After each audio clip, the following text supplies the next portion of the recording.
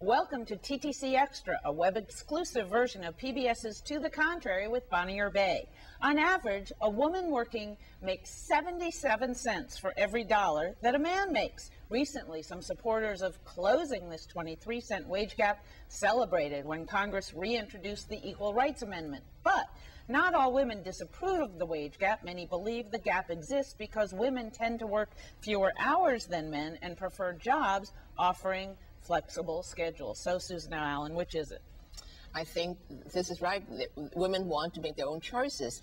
I have women working in my office. She just want to work 20 hours. I beg her to work for 30 hours for me as I raise her wage. She said, no, I want to go, to go back to school and I have a kid at home. So it is a personal choice. When you average the wage of the collected by men and compared with the women is experience, is the number of hours that you want to spend on a job, and, and all the other factors. And so therefore, if, it is, if there's a 70% versus 100%, I could understand that if the particular study, though, that came up with the 77 cent figure looked only for one year at women and men who worked full time, no part time work, and no breaks for having children. So I think this, although it's true that there's a lot of flex time desire by women, and you know, good, let's push for more flex time and more telecommuting and staying at home.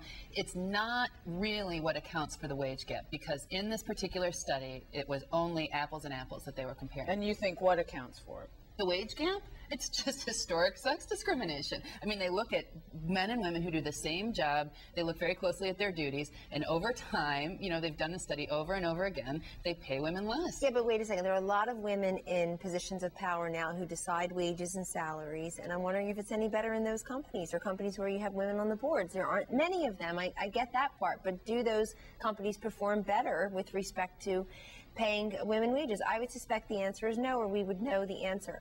Uh, but look, I think the biggest response that women have had to what they may perceive as being underpaid or undervalued or overstressed is this complete explosive rise in female entrepreneurship. It is incredible. You know, 48% of women say that they would start their own businesses if they had the financial resources. It's 64% among African American women.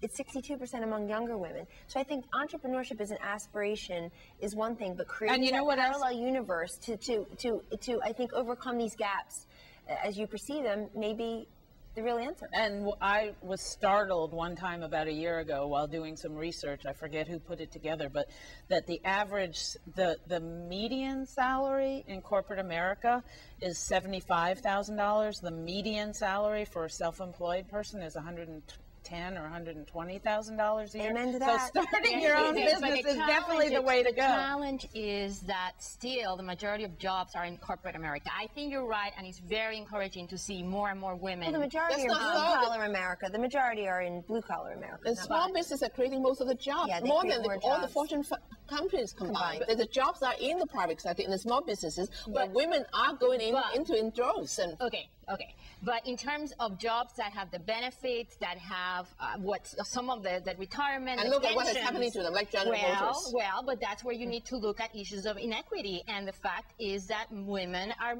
are are earning less than men.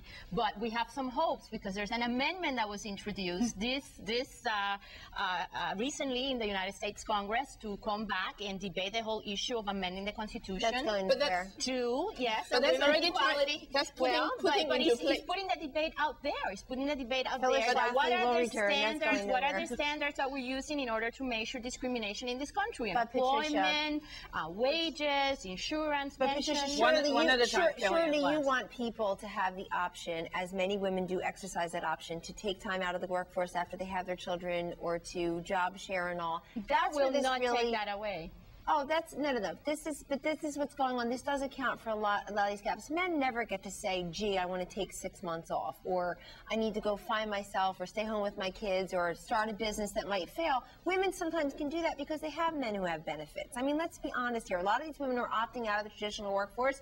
They went to Yale Law School, but they married someone from Harvard Law School, so they can afford to opt Mary out. Well, wait, wait, Mary Rich, that's the conservative answer. no, it's not the conservative answer. Those women at Yale Law School are not conservative. They burnt the American flag. Except one one, I, I, agree with you on starting businesses, but the opt-out so-called revolution has been thoroughly debunked. It doesn't. Absolutely. Women are not. Women are not. Number these rich women. Yeah. Who, all right. Who can. Thanks for watching TTC Extra. Whether your views are in agreement or to the contrary, please join us next time.